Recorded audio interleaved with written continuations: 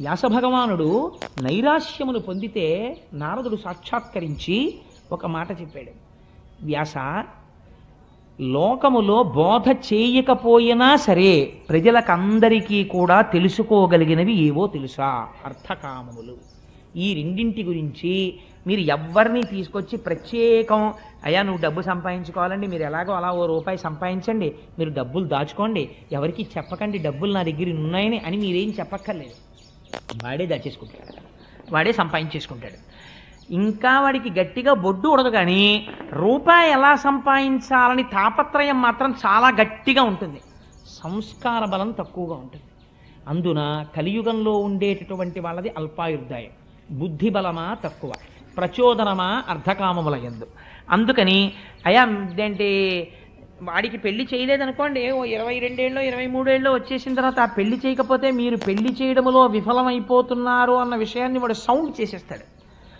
ఇదేంటి నా ఈడువాడు వాడికి పెళ్ళైపోయి అప్పుడే కొడుకమ్మా అంటాడు అమ్మ దగ్గరికి వచ్చి. అంటే ఏమిటి? అమ్మ నా సంగతి మీరు పట్టించుకోవట్లేదు అని చెప్పి. ఇంకా శ్రద్ధ చేసేసారనుకోండి వాడు వచ్చేస్తాడు నమస్కారం పెట్టడానికి ఎప్పుడప్పుడు. అందుకని అర్ధకామములను గురించి ప్రత్యేకంగా ఎవరికి ఏమీ బోధ ఏం చెయ్యక్కర్లేదు. చెయ్యవలసిన బోధ దేని గురించి అంటే భగవత్ సంబంధమును గురించి భక్తి గురించి బోధ చెయ్యాలి.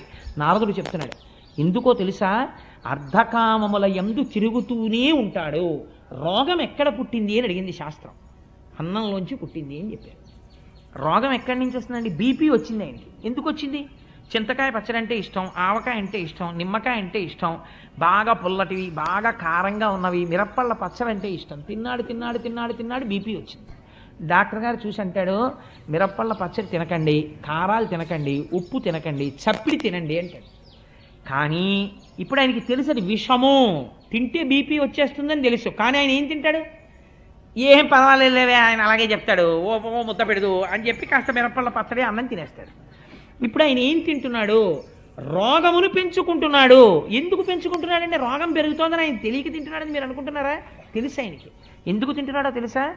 రసేంద్రియమును నిగ్రహించలేకపోయాడు. శరీరమే పోతుందిరా అని తెలిసినా సరే రోగం వచ్చేస్తుందిరా అని తెలిసినా సరే నిగ్రహించలేకపోయాడు. ఎందుకు నిగ్రహించలేకపోయాడు? ఈ బలహీనత కొన్ని కోట్ల జన్మల నుంచి తరుగుతోంది నిన్న అలాగా. డబ్బు పిచ్చ ఈ ఇంద్రియాల పిచ్చ తరుగుతూనే ఉన్నాయి అలాగా. వాటికి వశుడు అయిపోతూనే ఉన్నావు. అయినా సరే ఒక బురదలో పడిపోయిన వాడు బురద నీటిని తీసుకుని స్నానం చేసేసాడు అనుకోండి తల నిండా. అమ్మయ్య స్నానం చేశానండి అని అనుకోండి. ఇప్పుడు ఏమిటి జరుగుతుంది వాడికి? అది శుద్ధి అయిపోయింది ఏంటి అమ్మాయి ఎవరైనా స్నానం చేసా వచ్చి ఇంట్లోకి అంటారా అందరూ. ఒరినీయ సాధ్యం కొల నువ్వు పడిపోయింది బురదలో. నువ్వు ఒడ్డుకొచ్చి మళ్ళీ చెంబుతో బురద నీళ్ళు తీసుకుని మళ్ళీ మీద వస్తున్నావు. స్నానం అయిపోయింది అంటున్నావు. ఎలా అవుతుంది స్నానం? అవదు నువ్వు దగ్గరికి వెళ్ళి పోసుకో అంటావు.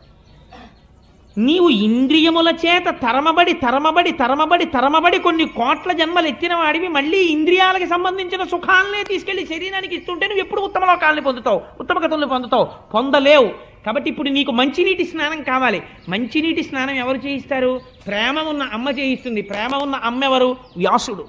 ఆయన చేయించాలి. అందుకని భాగవతం ఇచ్చాడు ఆయన.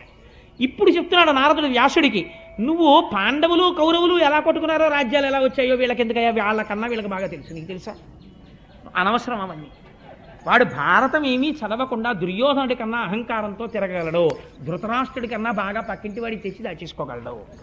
భాగ భారతం ఎందుకు? నువ్వేమన్నా ప్రయత్నపూర్వకంగా భగవంతుడి గురించి ఏమైనా చెప్తావా? చెప్తే ఈ జన్మలో వీడు చేసుకున్నటువంటి ఇంద్రియ లౌల్యం వీడిని వచ్చే జన్మలలో హీనోపాఠులలోకి తీసుకుపోతుంది. భగవంతుడికి ఏమి రాగద్వేషాలు ఉండవండి. నేను ఒక మాట చెప్తే మీరు మనస్సులో ఏమనుకోకండి. నేను ఒక యథార్థం చెప్పడం కోసమని మీకు నేను చెప్తాను. మీరు దాని గురించి విచారణ కోసం నేను చెప్తున్నాను. అంతే మీరు మరోలా భావించకండి. నా ఎందు పరమ పవిత్రమైన వేదిక మీద అసహ్యకరమైన విషయాలు ప్రతిపాదించవలసిన అవసరం నాకు లేదు. ఒక వ్యక్తికి కామము బాగా ఉండిపోయింది అనుకోండి ఆ వ్యక్తి నోటి వెంట రాకూడని మాట ఒకటి వస్తుంటుంది. మీరు విని ఉంటారు.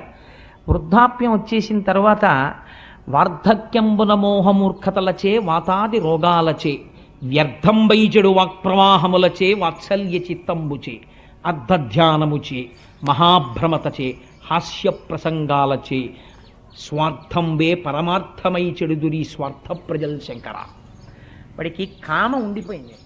ఉండిపోతే వాడు పైకి చెప్పలేక డెబ్భై ఏళ్ళు వచ్చేసిన తర్వాత మంచి పంచె కట్టుకుని వచ్చాడు అనుకోండి తాతయ్య పెళ్ళి కొడుకులో ఉన్నావు అన్నారు అనుకోండి సరదాకి ఎవరో అంటే అమ్మా అలా అనకూడదు. పెళ్ళి కొడుకులా ఉన్నావనుకో నన్ను చూడగానే ఏమండి?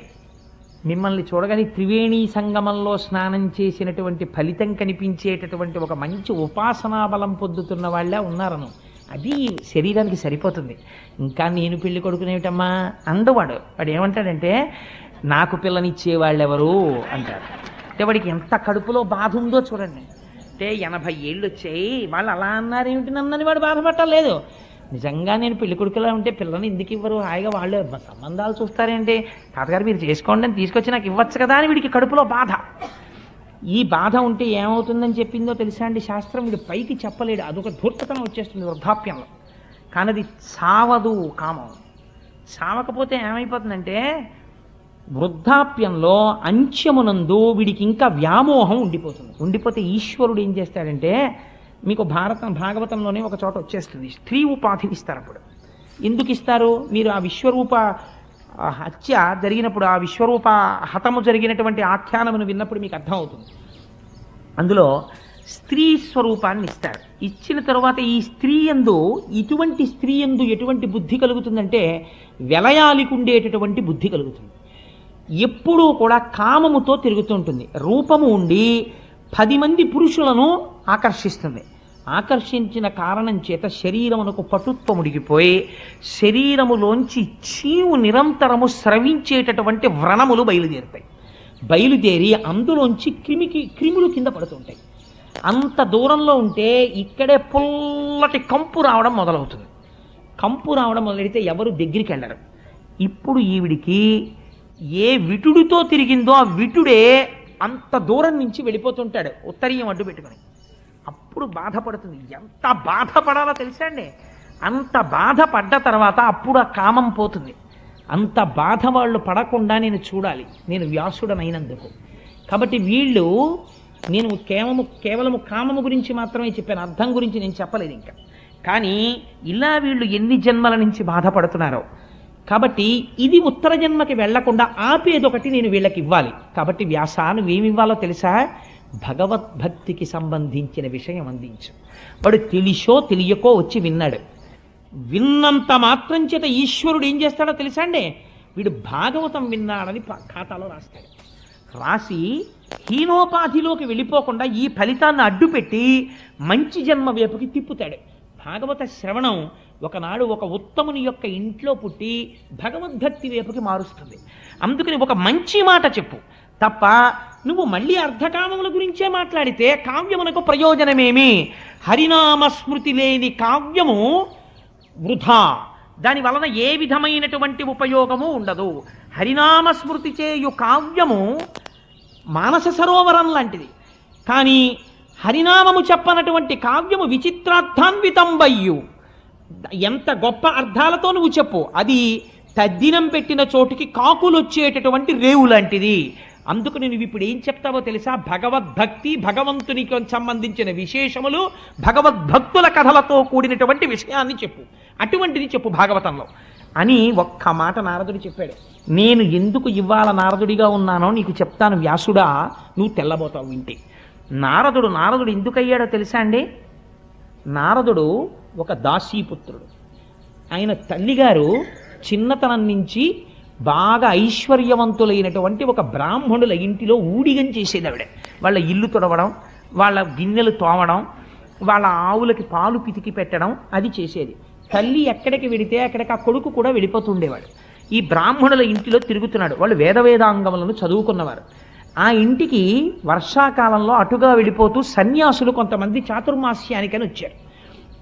వస్తే అమ్మతో పాటు పిల్లవాడు కూడా అక్కడ ఉన్నాడు. ఒరే రోజు నువ్వు స్నానం చేసేసి పొద్దున్నే కాస్త వాళ్ళకి పీటలు వేయడం దర్భాసనాలు వేయడం వాళ్ళ మడిబట్టలు తీసుకురావడం ఇలాంటి పనులు చేస్తూ ఉండరా అన్నాడు యజమాని. నారదుడు రోజు స్నానం చేసి వీళ్ళకి ఆ బట్టలు తీసుకొచ్చి అక్కడ పెడుతుండేవాడు వాళ్ళు సన్యాసులు. సన్యాసులు అంటే లోకమంతటా పరబ్రహ్మమును చూసేవాళ్ళు. దాసీపుత్రుడు అని కూడా వాళ్ళు చూడలేదు. వాళ్ళు రెండు గొప్ప వరాలు ఇచ్చారు నారదుడికి. ఏమిటో తెలుసా అండి? ఐదు సంవత్సరముల పిల్లవాడు తమకి చేస్తున్నటువంటి సేవ చూసి వాళ్ళు తినగా మిగిలినటువంటి ఉచ్ఛిష్టాన్ని నారదుడికి ఇచ్చేవారు. ఇది నువ్వు తిను అని. వాళ్ళు మహాభాగవతులు. వాళ్ళు తినగా మిగిలినటువంటి భాగవత శేషాన్ని తిన్నారు. వాళ్ళు మధ్యాహ్నం అయ్యేటప్పటికీ నాట్యం చేస్తుండేవారు సంతోషంతో పాటలు పాడుతూ. నేను విశాఖపట్నంలో శారదాపీఠంలో ముత్తు మత్తూరు నుంచి వచ్చినటువంటి సంస్కృత పండితుల్ని చూస్తుండేవాడిని వాళ్ళు వాళ్ళ పిల్లలు కూడా ఇంతంత పిల్లలు కూడా సంస్కృతంలో మాట్లాడతారు. మా దొరగారు చూసినట్టున్నారు. ఇంత పిలకలు పెట్టుకుని తెల్లవారకట్ట లేచి సంధ్యావందనం చేసుకుని అభిషేకాలు చేసుకుని అవి చదువుకుంటుంటారు. వాళ్ళ ఆడవాళ్ళు కచ్చా పొసి పట్టుచీరలు కట్టుకుని సౌందర్యలహరి ఎంత బాగా చదువుతుంటారో. రాత్రి అయ్యేటప్పటికి ఇన్ని పాలు తాగి రెండు పళ్ళు తిని పడుకుంటుంటారు. ఇంత ఎత్తున బ్రహ్మవర్చస్సు ఉట్టి పడిపోతూ ఉంటారు వాళ్ళు. అలా ఆ వచ్చిన సన్యాసులు పొద్దున్న లేవడం భగవంతుణ్ణి అర్చన చేసుకోవడం ఆ వేద వేదాంగాలు చదువుకోవడం చర్చ చేసుకోవడం మధ్యాహ్నం అయ్యేటప్పటికి భగవంతుణ్ణి స్మరిస్తూ నాట్యం చెయ్యడం పొంగిపోవడం చేసేవారు. ఈ పిల్లాడికి ఏం తెలియదు కూర్చుని వాళ్ళ వంక చూసి ఎంత బాగుందో ఎంత బాగుందో అని పొంగిపోతూ ఉండేవాడు. ఆఖరికి చాతుర్మాస్యం అయిపోయింది. వాళ్ళు వెళ్ళిపోతున్నారు. వాళ్ళు ఏమిస్తారండి ఇప్పుడు ఒక సన్యాసి వెళ్ళిపోతూ వెళ్ళిపోతూ తనకి సేవ చేసిన వాడికి ఏమిచ్చి వెళ్ళిపోతాడు? అబ్బాయి నువ్వు ఈ వెయ్యి రూపాయలు ఉంచుకోరా అని సన్యాసి ఇవ్వడు కదా.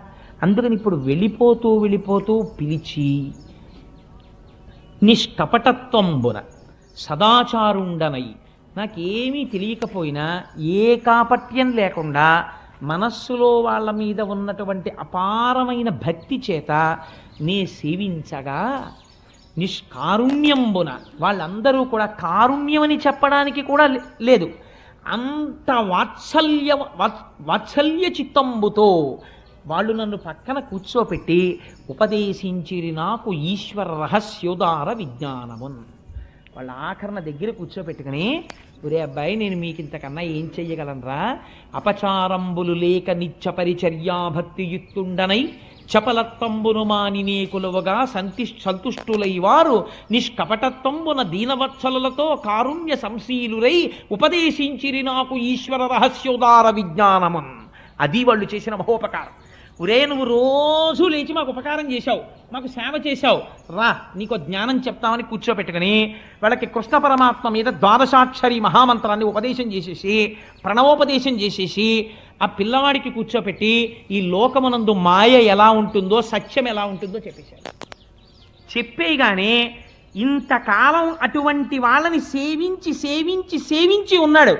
సత్పురుష సాంగత్యం. సత్సంగత్తే నిస్సంగత్వం నిస్సంగత్తే నిర్మోహత్వం నిర్మోహత్తే నిశ్చలతత్వం నిశ్చల సత్తే జీవన్ముక్తి. అటువంటి సత్పురుషులతో తిరిగి హృదయం అంతా పరిశుద్ధి అయిపోయింది వెంటనే ఈయనకి మనసులోకి అందేసింది. పైకి అమ్మతో తిరుగుతున్నాడు కానీ ఆ సన్యాసులు వెళ్ళిపోయారు. చాతుర్మాస్యం అయిపోయింది. లోపల ఆ శ్రీమన్నారాయణుణ్ణి తలుచుకుని పొంగిపోతూ రోజు అమ్మతో వెళ్ళేవాడు. ఒకరోజు చీకటి పడిపోయిన తర్వాత బ్రాహ్మణులు పిలిచి అమ్మ పెరట్లోకి వెళ్ళి ఆవుల పాలు పితికి పట్టరా అన్నారు తల్లిని. ఆ తల్లి ఆవుల పాలు పితుకుదామని వెళ్ళింది. అక్కడ ఒక పెద్ద త్రాచుపాం పడుకుంది. ఆవిడ చూడకుండా దాని మీద కాలేసింది. ఆ త్రాచుపాం ఆవిడ్ని కరిచేసింది. తల్లి చచ్చిపోయింది. అప్పుడు ఆయన పిల్లవాడు అనుకున్నాడు అమ్మయ్య నాకున్న ఒకే ఒక బంధం తెగిపోయింది.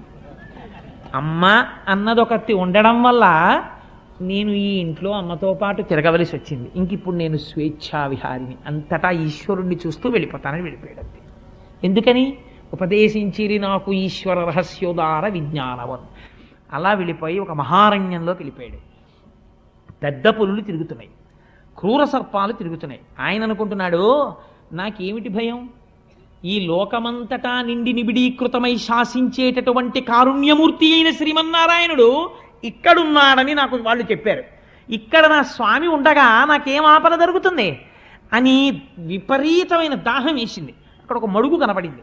ఆ నీళ్ళు తాగి స్నానం చేసి ఈ లోపల ఉన్న నా స్వామి ఒక్కసారి నాకు సాకారంగా కనపడితే బాగుండు అని ఒక రావి చెట్టు కింద కూర్చుని ద్వాదశాక్షరి తదేకంగా ధ్యానం చేస్తున్నాడు. ధ్యానం చేస్తుంటే లీలామాత్రంగా ఒక మెరుపులా శ్రీమన్నారాయణుని యొక్క దర్శనమైంది. పొంగిపోయి పైనుంచి కిందకి మెరుపును చూసినట్టు చూశాడంతే. అంతర్ధానం అయిపోయాడు అంతర్ధానం అయిపోయి అశరీరవాణి వినపడింది. ఈ జన్మలో సత్పురుషులతో తిరిగినటువంటి అదృష్టం చేత వాళ్ళ మాటలు పట్టించుకున్న కారణం చేత నీకు లీలామాత్ర దర్శనం ఇచ్చాను నువ్వు చూసిన రూపాన్ని బాగా చూడాలలా అని కోరుకుంటూ నా గురించే చెప్పుకుంటూ నా గురించే పాడుకుంటూ నా గురించే మాట్లాడుకుంటూ తిరిగి తిరిగి తిరిగి తిరిగి దేహధర్మం కాబట్టి ఈ శరీరాన్ని వదిలేస్తావు రోజున. వదిలేసిన తర్వాత నిన్ను గుప్తంగా ఉంచుతాను. ఒకనాడు నువ్వు సాక్షాత్తుగా బ్రహ్మదేవుని యొక్క కుమారుడిగా జన్మిస్తావు. ఆనాడు నీకు మహతి అనబడేటటువంటి వీణని బహూకరిస్తాను. దాని మీద నారాయణ స్తోత్రం చేస్తూ స్వేచ్ఛగా లోకముల ఎందు విహరిస్తావు. నీకు ఈ కానుకనిస్తున్నానన్నాడు శ్రీమన్నారాయణుడు. ఆనాడు శ్రీమన్నారాయణుణ్ణి దర్శనం చేస్తూ తిరిగి తిరిగి దేశమంతటా తిరిగి స్వామి గురించి చెప్పుకుని చెప్పుకుని దేహధర్మం గనక ఒకనాడు ఈ శరీరం వదిలిపెట్టేశాను వదిలిపెట్టేసి సంతోషంగా బ్రహ్మగారి దగ్గరికి వెళ్ళిపోయాను. మళ్ళీ కల్పాంతం అయిపోయిన తర్వాత చతుర్ముఖ బ్రహ్మగారు సృష్టింపబడ్డాడు నారాయణుడి నాభికమలంలోంచి. మొట్టమొదట ప్రజాపతుల్ని సృష్టించినప్పుడు చతుర్ముఖ బ్రహ్మగారు నన్ను సృష్టించాడు. నాకు మహతి అన్న వీణనిచ్చాడు. ఆ వీణ సర్వకాలముల ఎందు భగవంతుడికి సంబంధించిన స్తోత్రమే పలుకుతుంది. నేను ఆ నారాయణ నామము చెప్పుకుంటూ లోకములంతటా స్వేచ్ఛగా తిరిగేస్తుంటాను. నేను వైకుంఠానికి వెళ్ళిపోతాను కైలాసానికి వెళ్ళిపోతాను సత్యలోకానికి వెళ్ళిపోతాను. ఏ ఊరు పడితే ఆ ఊరు వెళ్ళిపోతాను. ఎక్కడికి వెళ్ళినా లోక సంక్షేమమును ఆవిష్కరిస్తాను. భగవత్ శక్తి గురించి మాట్లాడతాను. అది తప్ప ఇంకొకటి నాకు రాలేదు.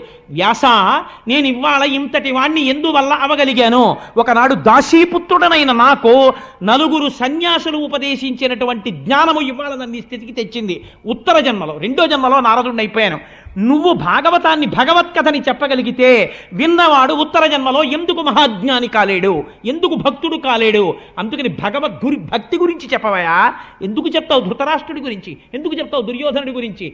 చెప్పకపోయినా వాళ్ళకి తెలుసు అవన్నీ. అందుకని భక్తి గురించి చెప్పు. భక్తికి అలవాలమైన భాగవతమును రచించు. అంటే ఆనాడు మహానుభావుడు వ్యాస భగవానుడి మాటలు విని పొంగిపోయి సహవాష్ నారదా ఎంత గొప్ప మాట చెప్పావయ్యా.